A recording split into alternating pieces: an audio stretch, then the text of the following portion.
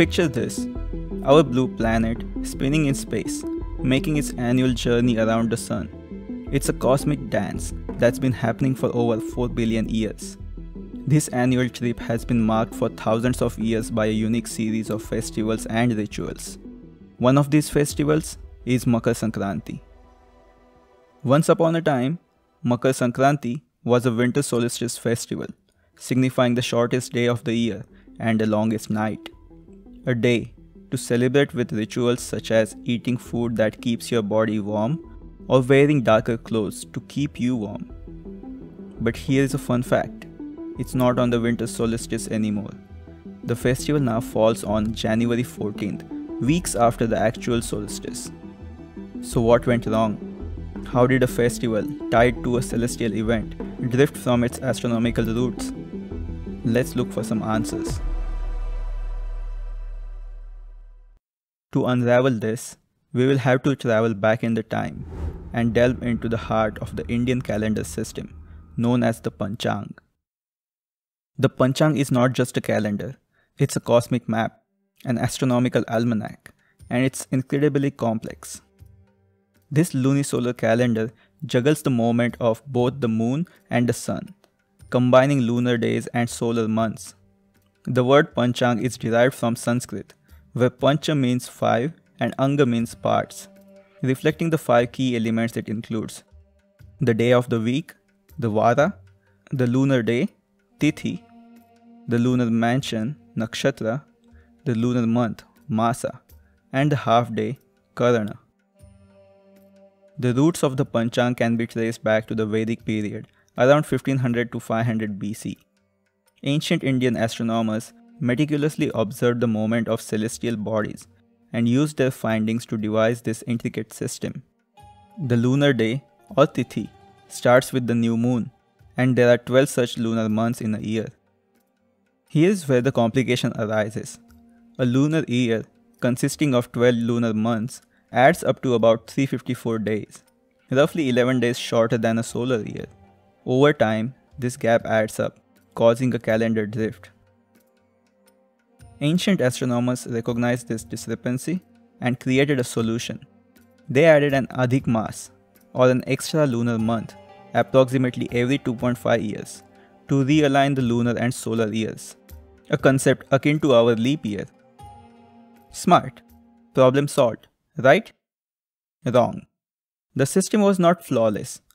There was this one thing they didn't account for the precession of equinoxes. This is going to be our silver bullet that caused this well designed system to drift as the years passed. Let's see what this precession is. Earth has these three rotational motions. The first one is as it moves around the sun. The second is the rotational motion along its own axis. And there is this third motion, which is not commonly known. It's this slow rotation of the axis itself. Precession is a slow and gradual shift in the orientation of Earth's rotational axis, causing the position of the stars to change over time.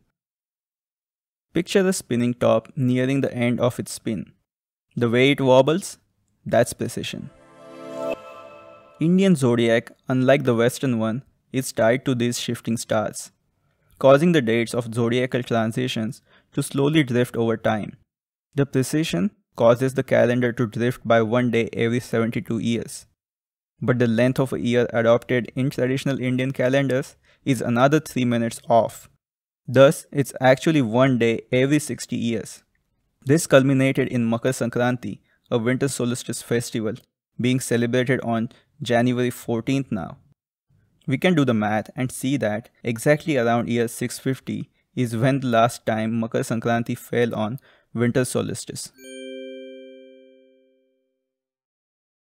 Now let's make one thing clear. Our ancestors were far from ignorant. They knew about the drift in the calendar and they were actively making corrections. All signs point to the fact that they kept Makar Sankranti on the winter solstice until around year 650 AD. So what happened then? Why did they suddenly stop making these adjustments?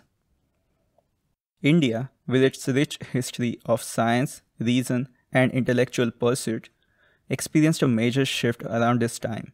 The critical event that lines up with this change was the demise of great leader King Harsha. King Harsha was the last major sovereign of pre-medieval India. He was known as a patron of scholarly thought. His reign nurtured the intellectual pursuits of that time. Historical evidence suggests that under his rule, the calendar was actively maintained. But with his death, a vital support system for India's intellectualism faded away. Without a succession of strong scholarly leaders like Harsha, the following century saw a dramatic decline in the subcontinent's vibrant intellectual culture. It was as if a long Indian summer of science and reason had given way to a sudden and unexpected winter. The consequences of this shift were far reaching. Among them was the drift of Makar Sankranti, a symptom of a calendar that was no longer adjusted to keep up with the cosmic dance of our planet. This period, often referred to as the Dark Age of India, marked a decline in the proactive management of the calendar system, setting the stage for the calendar drift that continues till today. Fast forward a few centuries to around 10th century AD, Indian astronomers like Munjala and Bhaskaracharya were keen observers of the cosmos. They spotted the calendar's drift and knew exactly how to rectify it. So why didn't they? By this time, the Indian calendar system had been firmly established. Changing the system was not an easy task. The roots of the older methods were deeply entwined with the religious and cultural traditions. And then, there was another significant shift in the Indian society. With the rise of Brahminism, post Shankaracharya, the emphasis in Indian society started to change. Brahminism placed a premium on scriptural authority and ritualistic observances. The pursuit of knowledge began to split into two distinct paths one prioritizing ritualistic precision and religious doctrine, the other, scientific inquiry and reasoning. This shift led to a separation of hand and brain, creating a chasm between active experimentation and intellectual pursuits. In essence, the rise of Brahminism marked a move away from the rigorous exploratory spirit of scientific thought that had defined Indian intellectual culture for centuries. The emphasis was now more on upholding tradition, even if it meant the Panchang continued its unadjusted drift. So while the celestial dance continued, the once precise Indian calendar slowly lost sync, culminating in the curious case of Makar Sankranti's calendar drift. So how do we fix this? Well, technically it could be fixed by recalibrating the calendar to account for the precession and realign the festivals with their original astronomical events. The government of India set up a committee to reform our calendars in year 1955, with the renowned physicist Meghnad Saha as its chairman.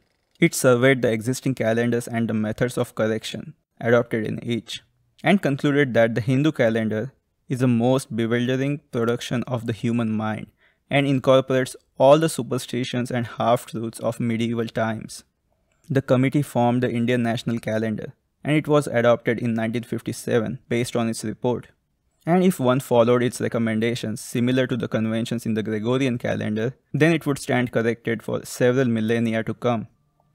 But this national calendar is hardly used anywhere outside the confines of the pages of gazettes or broadcast of All India Radio, while lay people remain blissfully at the mercy of traditional calendar makers. So even if the dates have drifted, the spirit of these festivals, the joy and the unity they bring remains constant. At least that's what our inner optimist can tell ourselves. But the pessimist inside us keeps reminding us of the continuation of the medieval hangover of Indian calendars and the remedy it badly needs, which we deny. Thanks for watching, please subscribe and as always, keep exploring.